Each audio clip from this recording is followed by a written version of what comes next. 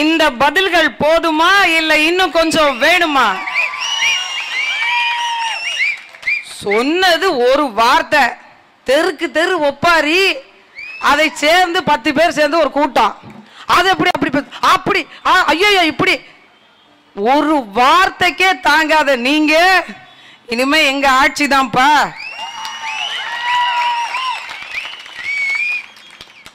எனக்கு ஒரு மனசுல ஒரு பயம் இருந்துக்கிட்டே இருந்தது. அண்ணன் வந்து நீண்ட நெடுகாலமாக பேசிட்டு இருந்த ஒரு வார்த்தையை திடீர்னு ஏன்டாப்பா பிடிச்சிட்டு இப்படி தொங்குறாங்க அப்படின்னு நான் எங்கள் வீட்டுக்காரரும் ரொம்ப நேரமாக பேசியிருந்தேன். அப்புறம் தான் அவர் உண்மை தெரிஞ்சுது. காங்கிரஸ் கட்சியில் இருக்கார்ல அழகிரின்றவர். அவர் காலேஜில் ஒரு பெரிய பிரச்சனை ஆகி போச்சு. கர்மா அதை மறைக்கிறதுக்கு அவங்க பண்ண ஊழலை மறைக்கிறதுக்கு அவங்க கல்லூரின்ற பேர் கெட்டு போயிடக்கூடாதுன்றதுக்காக காங்கிரஸ்ல அவர் ஏதோ ஒரு பெரிய பதவியை எதிர்பார்த்துட்டு இருந்திருக்கிறாரு. அந்த பதவி இந்த பிரச்சனையால எங்க பறி போயிடுமோன்ற ஒரு காரணத்துக்காக இந்த பிரச்சனையை பூதாகரமாக வெடிக்க வச்சார் அப்படின்றது பிறகுதான் எங்களுக்கு தெரிய வந்தது. ஒரு காரண காரியத்தை காரணம் இல்லாமல் இந்த இடத்துல சொல்லக்கூடாது இந்த இடத்துல சொல்லணும்னு தெரியாத ஒன்றும் நாங்கள் ஒன்றும் அப்படி ஒன்றும் ஆட்கள் இல்லைப்பா. தமிழன் உங்களுக்கே வகுப்பு எடுக்கக்கூடிய திறன் வாய்ந்த தலைமை படைத்தவர்கள் நாங்கள். அதை இந்த நேரத்தில் சொல்லிக்கிறோம். ஏன்னு கேட்டீங்கன்னா ஒரு தகவல் சொல்லியாச்சு. நீங்க வாபஸ் பெறுங்க அந்த வார்த்தையை திரும்ப பெற்றுக்கொள்ளுங்கள் அப்படின்னு ஒருத்தர் வந்து நம்மள்ட்ட கேட்குறார் நான் அப்படியே கிட்ட போய் பார்த்துட்டு இருக்கிறேன். ஐயோ அண்ணா என்ன சொல்ல போறாருன்னு தெரியலையே. என்ன சொல்ல போறாருன்னு தெரியலையே அப்படின்னு. இங்க ஒரு ஆள் சொல்லிட்டு இருக்காரு பாருங்க. ஆக நாங்க சொல்லதெல்லாம் சொல்லுவோம். செய்யறத சொல்லுவோம்னு சொல்லல. இல்ல சொல்றதை செய்வோம்னு சொல்லல. அது சொல்றதெல்லாம் சொல்லுவோம். ஆக சொல்லாததை சொல்லுவோம். அப்படின்னு சொல்லல என் பெருமக்களே ஆமாம் நான் சொன்னேன் வாபஸ் பெற முடியாது. அந்த திமிரில் கொஞ்சமாவது உங்களுக்கு வேணும்னா வாங்க எங்க வீட்டு பக்கம் வாங்க. கொஞ்சோண்டு கறி ஊத்துறோம் வாங்கி குடிச்சிட்டு போங்க. அப்பயாவது அந்த திம்பம் அந்த தைரியமும் திமிரும் உங்களுக்கு வந்தாகட்டும். போராடுறீங்க. ரொம்ப மரியாதை கட்டத்தனமாக பேசுகிறீர்கள் என் தமிழ் மக்களே. இங்கு நின்று கத்தி கொண்டிருப்பது எங்களுக்காக மட்டுமல்ல உங்களுடைய வருங்கால தலைமுறைக்காக தான் மக்களே. அதை புரிஞ்சுக்கணும். எத்தனை பேரை வன்புணர்ச்சி செஞ்சு எவ்வளவு மோசமாக ஒரு பெண்ணுக்கு நடத்த வேண்டிய எந்த மரியாதையும் கொடுக்காம அவதூறாக எவ்வளவு கேவலமான முறையில் நீங்க நடத்துனீங்க. அப்ப அதுல ஒரு பெண்ணுக்காவது இந்த தமிழ் மண்ணை சுவாசிச்சுட்டு இருக்க ஒருத்திக்காவது கோபம் வந்து உங்களை பழிவாங்க நினைச்சது என்ன தப்புன்னு நானும் கேட்கிறேன் இந்த நேரத்துல. என்ன தப்பு? நீங்கள் அடிக்கும் போது நாங்கள் வாங்க வேண்டும் நீங்கள் உதைக்கும் போது நாங்கள் வாங்க வேண்டும் நீங்கள் எட்டி மிதிக்கும் போது நாங்கள் கீழே படுத்து உங்கள் காலில் புரள வேண்டும். அப்படிப்பட்ட ஒரு இனத்தின் பிள்ளைகள் அல்ல. எந்த காரணத்திற்காகவும் தன்மானத்தை தலைக்கு அடைமானம் வைக்காமல் ஈழ மண்ணிலே எங்களுக்கான நிலம் வேண்டும் என்று போராடி போராடி போராடி போராடி கலைத்துக் கொண்டிருக்கிற உழைத்துக் கொண்டிருக்கிற என் தலைவன் மேதகு பிரபாகரனின் பிள்ளைகள் நாங்கள் நாங்கள் ஒருபோதும் அடிய மாட்டோம். என்ன சும்மா சாதாரணமா? என்ன நல்ல காரியம் பண்ணி நீங்க இந்த காங்கிரஸ் இந்த பிஜேபி இந்த அதிமுக திமுக என்ஆர் காங்கிரஸ்? எல்லாம் கழிச்சிங்க. என்ன கழிச்சிங்க? எந்த மக்களுக்கு ஆதரவான சட்டத்தை நீங்க கொண்டு வந்தீங்க? எந்த சட்டத்தை மக்களுக்கு விரோத சட்டத்தை நீங்கள் வேண்டாம் என்று சொன்னீங்க? எல்லாத்தையும் கொண்டு வந்து இந்த மண்ணை நாசமாக்கினீங்க. தொள்ளாயிரத்தி முப்பத்தி ஆறு பெரும் தொழிற்சாலைகள் இந்த தமிழ் மண்ணிலே நிலவ விட்டீங்க. இந்த ரெண்டு ஆட்சி காலத்தையும் மாறி மாறி இந்த தொள்ளாயிரத்தி முப்பத்தி ஆறு பெரும் தொழிற்சாலைகளும் இந்த தமிழ்நாட்டை அழிக்க போதுமானது. நான் சொல்லல அமெரிக்காவினுடைய ஒரு ஆய்வு நிறுவனம் சொல்லுது. ராணுவம் தேவையில்லை போர் தேவையில்லை எதுவும் தேவையில்லை. இந்த தொள்ளாயிரத்தி முப்பத்தாறு பெரும் மக்களுக்கு விரோதமான நாசகரமான தொழிற்சாலைகளே போதுமானது தமிழ்நாட்டை அழிப்பதற்கு. ஒரு ஆய்வு சொல்லுது. எவ்வளவு கொடுமை. இந்த கடலோர பாதுகாப்பு தேசிய பாதுகாப்பு சட்டம்னு இப்போ ஒன்று கொண்டு வந்திருக்காங்க. ரெண்டாயிரத்தி ஒன்பதுல இருந்து பல முறை திருத்தம் செய்யப்பட்டு இன்னைக்கு மசோதா தெரியாம திருட்டுத்தனமா ஒவ்வொரு மீன்வளத்துறை அலுவலகத்திலும் கையெழுத்தாயிட்டு இருக்கு மக்கள் கருத்து கேட்பு கூட்டம் எங்கேயோ கொண்டு போய் இந்த கோபாலபுரத்தில் வச்சிருந்தாங்க தெரியுங்களா? தனியாக அழைச்சி வச்சிருக்கிறதும். இன்னொரு ஒரு க- ஒரு தனியார் கூடத்தில் எம்எல்ஏவெல்லாம் திருட்டுத்தனமாக பிடிச்சி வச்சிருந்தாங்க தெரியுங்களா? அந்த மாதிரி மக்களை வேற ஏதோ ஒரு கூட்டத்திற்கு அழைத்து அந்த சட்டத்தை நிறைவேற்றுறாங்க இதுவரைக்கும் வடநாட்டுக்காரவங்களுடைய உழைப்பும் வருகையும் இல்லாத ஒரே பகுதி நெய்தல் நிலப்பகுதி இன்னைக்கு அந்த இடத்துலயும் பெரும் தொழிற்சாலைகளை கொண்டு வந்து கடலோர மக்களை காலி செய்து கடலோர சார்ந்த இருக்கக்கூடிய விவசாய குடி மக்களையும் மொத்தம் முழுவதுமாக இங்கிருந்து விரட்டி விட்டுட்டு இந்த மண்ணை அடமானம் வைக்கிறதுக்கு தான் வெளிலேருந்து ஒருத்தர் வந்தார் ஜி ஜின் பிங்கு. இவர் வேட்டு சட்டையை கட்டிவிட்டு ஒரு துண்டை தூக்கி போட்டுட்டு அங்க வந்து நின்னார். இந்த ஒரு ப- படத்துல கூட ஒரு வடிவேல் என்ன காமெடி ஒன்று வரும். ஏப்பா பெருமாள் பஸ்ஸை நல்லா பார்த்துக்கிட்டியா? அப்புறம் சீட்டு இல்லை ரெண்டு கம்பி குறையும் சொல்லக்கூடாது மீறி சொன்னீங்கன்னா எனக்கு பழியா கோவம் வந்துடும் தூக்கி போட்டு குறுக்கில் மேய்ச்சி விடுவேன்னு. அந்த மாதிரி ரெண்டு பேரும் கையை கோத்து ஆ அது இல்லைப்பா. ஐயா என் பொண்டாட்டி கேள்வி பாப்பா ஐயா இப்படி இல்லைப்பான்னு கர்ச்சிப்பை போட்டு வேலை பேசிட்டு போயிருக்காங்க கடற்கரைய. வந்தாங்க சரி. ஒரு அயல் நாட்டினுடைய அதிபர் வராரு. என்ன கையெழுத்து போட்டாங்க? என்ன திட்டம் வந்து அங்கே பேசப்பட்டுச்சு? ஒன்றும் கிடையாது. அதெல்லாம் ஊடகம் பேசல. அவர் வேட்டி கட்டிட்டு வந்து விட்டார்ப்பா. அதுதான் பேச இப்ப பிரச்சனை அங்க போயிட்டு இருக்கு இன்னும் சில பிரச்சனை எல்லாம் அப்புறமா வரும். நம்ம எல்லாம் சந்திக்க தான் போறோம். இந்த சட்டத்தின் வாயிலாக மக்களே கடற்கரையில் பன்னெண்டு நாட்டுகள் மைலுக்கு மேல மீன் பிடிக்க போக கூடாது போனா நீங்க லைசன்ஸ் அனுமதி வாங்கணும். அந்த அனுமதிக்கு நாளொன்றுக்கு பணம் கட்ட வேண்டும். ஒரு நாளைக்கு நான் கடலுக்கு போறதா இருந்தா மூணு லட்சம் ரூபாய் வரைக்கும் எனக்கு செலவாகுது. ஆனா ஒரு நாள் ஒன்றுக்கு ஒரு லட்சம் ரூபாய்க்கு தான் நீங்க மீன் பிடிக்கணும். மேற்கொண்டு நீங்க மீன் பிடிச்சீங்கன்னா ஒரு லட்சத்தி ஒரு ரூபாய்க்கு உங்க மீன்கள் விற்றாலும் நீங்க ஆறு ஆறு லட்சம் ரூபாயில இருந்து ஒன்பது லட்சம் ரூபாய் வரைக்கும் உங்களுக்கு அபராதம் விதிக்கப்படும். நீங்க எப்படி எப்படி சொல்றாங்க பாருங்க சட்டம். வருட காலத்திற்கு இல்ல உங்களுடைய தலைமுறைக்கும் நீங்க வாழும் காலம் வரை கடலுக்குள் நீங்கள் கால் வைக்க கூடாது. இது சட்டம் சொல்லுது. யார யார கால வைக்க வேணாம்னு சொல்றீங்க? எங்க கடல்ரா இது? ஏன் மண்ணு இது? ஏன் நிலம் இது?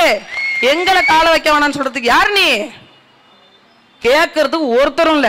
சட்டத்தை கொண்டு வந்து கடல்ல கப்பலை போட்டு நான் கடற்படையை தனியா அமைத்து எங்க அண்ணன் சொன்னாரு கடல்ல வந்து நான் நெய்தல் படை அமைத்து மீனவர்களை பாதுகாப்பேன்னு. மக்களே தெளிவா புரிஞ்சுக்கோங்க. அமைச்சர் ஜெயக்குமார் சொல்கிறார் நான் கடலிலே தனி காவல் படை அமைத்து பன்னெண்டு நாட்டுகள் மைலுக்கு மேல போறவங்கள அடிச்சு இந்த பக்கம் துரத்துவேன்னு எங்கள்கிட்ட ஓட்டு வாங்கி வெற்றி பெற்ற ஜெயக்குமார் சொல்கிறார். ஒரு மறுப்பு தெரிவிக்கல திமுக. ஒரு மறுப்பு. இந்த காங்கிரஸ் இந்த பிஜேபி தான் கொண்டு வந்திருக்கு. ஒரு மறுப்பு தெரிவிக்கல. அப்ப இந்த கட்சிகள் யாருக்கான விஷயங்கள் பாத்துங்க இந்த பாண்டிச்சேரி மண்ணில் தொடர்ந்து இப்போ நாங்கள் பயணம் செய்து கொண்டிருக்கும் போது இங்க போட்டியிடக்கூடிய ஜான்குமார் அண்ணன் ஜான்குமார் வந்து எல்லா வீட்டுக்குமான கேபிள் இணைப்பை அவர் தான் கொடுத்திருக்கிறார் போல இருக்கு. அவர் தான் கொடுத்திருக்கிறார். அவர் ரொம்ப நம்பிக்கையாக வேற சொல்றார். நாங்க தான் வெற்றி பெறுவோம். எப்படின்னு கேபிள் கொடுக்கும் போகும்போது காசு வசூலிக்க போவோம் இல்லையா? அப்பவே காசை நாங்கள் கொடுத்துட்டு வந்துட்டோம். ஒரு ஓட்டுக்கு ஐயாயிரம் ரூபா. அதனால் நாங்கள் தான் வெற்றி பெறுவோம். இப்போ நீங்கள் வந்து பாண்டிச்சேரி மக்கள் எல்லாம் அவ்வளோ சாதாரணமாக நினச்சிக்காதீங்க நினைச்சுக்காதீங்க. நீ கொடுக்குற ஐயாயிரம் ரூபாயும் வாங்கிப்போம். இன்னும் எவனாச்சும் கொண்டு வந்து கேபிள் காசோட என்ன காசுன்னு திருட்டு போய் பால் பாக்கெட் மாதிரி போட்டு போனாலும் வாங்கிப்போம். ஓட்டு விவசாய சின்னத்துக்கு தான் மக்களே. தயவு செஞ்சு நீங்கள் புரிஞ்சுக்கணும். புரிஞ்சுக்கணும் நீங்கள் பெண்களின் சக்தி எவ்வளோ பெரிய சக்தி? இந்த சட்டங்களை கொண்டு வந்து இங்க வாழ்ந்த பூர்வடி குடி மக்களை விரட்டி விட்டுட்டு யாரடா கொண்டு வந்து இங்க வச்சு எங்களுக்கு ச- எங்களை கூன கும்பிடு போட வைக்க பாக்குறீங்க?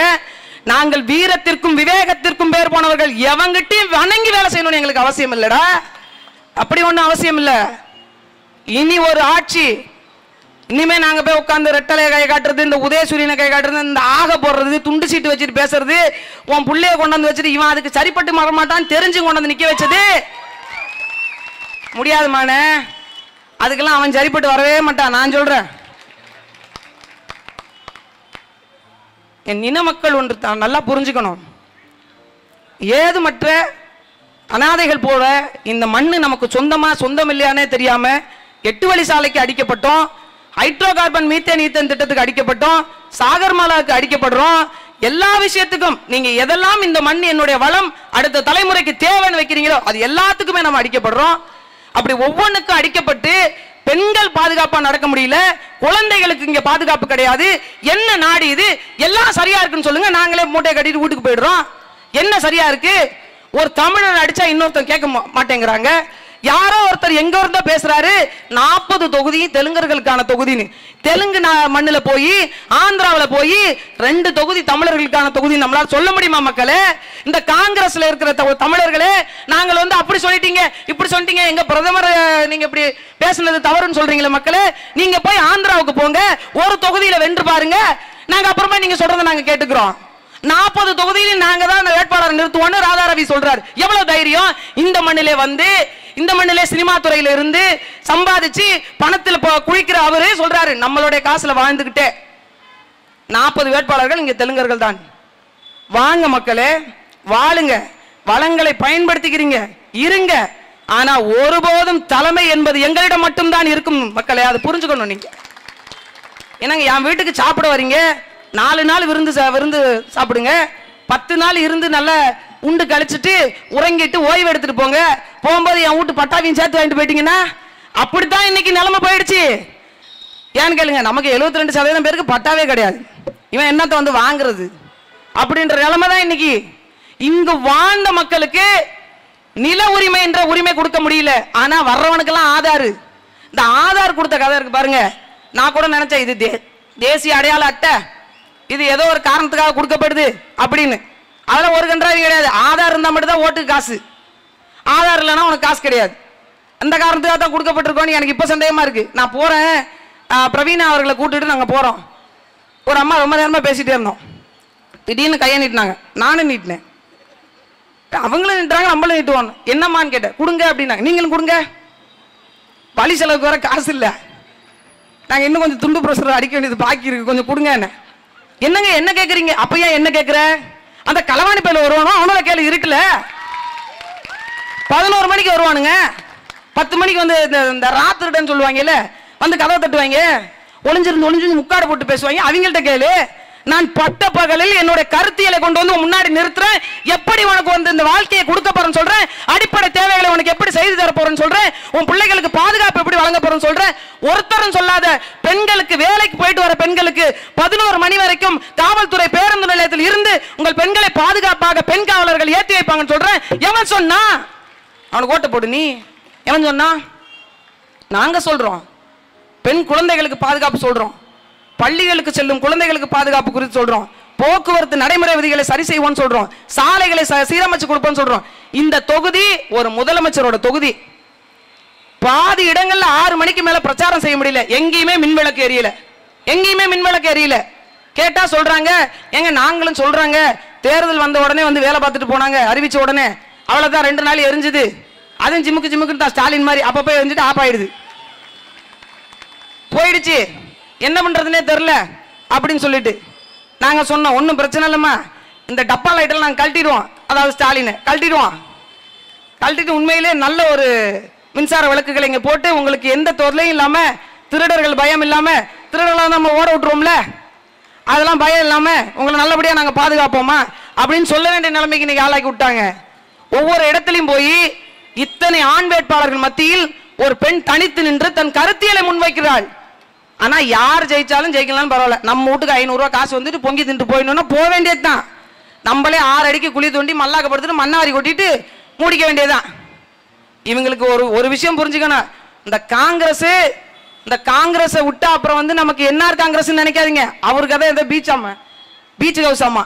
அங்க போனா பெருங்கதையா இருக்கு. அவர் இன்னும் வாழும் காமராசர்ன்றாங்க. தயவு செஞ்சு அந்த பேரை இன்னொரு தடவை பிரயோகம் பண்ணாதீங்க.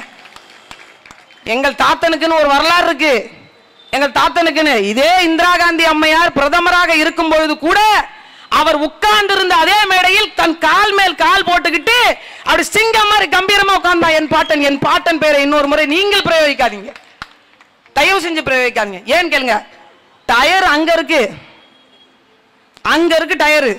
இங்கேருந்து நக்க ஆரம்பிச்சிடுறாங்க. அது பிரச்சனை இல்லை. மேல போற ஹெலிகாப்டர் இங்கேருந்து கும்பிட்டாங்க தெரியுங்களா? மேல அம்மா போகும்போது பார்க்குறாங்களாம் எமாவன் கும்பிடுறான் எமாவன் கும்பிடலன்னு. மேல போற ஹெலிகாப்டருக்கு இங்க ஆரத்தி சுத்தினவங்கெல்லாம் தயவு செஞ்சு என் பாட்டன் கர்ம வீரர் பத்தி பேசுவதற்கு எங்களுக்கு மட்டுமே தான் உரிமையும் உடமையும் இருக்கிறது மக்களே. இளைஞர்கள்லாம் ஒன்று திரண்டு வாருங்கள் நாங்கள் அழைப்பதற்கு ஒரு தமிழன் என்ற ஒரு திமிரு ஒரு தன்னம்பிக்கை நமக்குள் வர வேண்டும் மக்களே. நாம் யாருக்கும் அடிமைப்பட்டவர்களே அதே மாதிரி நாம் யாரையும் அடிமைப்படுத்தவும் நினைக்கவில்லை. வாங்க வாழுங்க வாழும் உரிமை எவருக்கும் உண்டு. ஆனால் ஆளும் உரிமை தமிழராகிய எங்களுக்கு மட்டுமே உண்டு. அப்படின்றத முன்வைக்கிறோம்.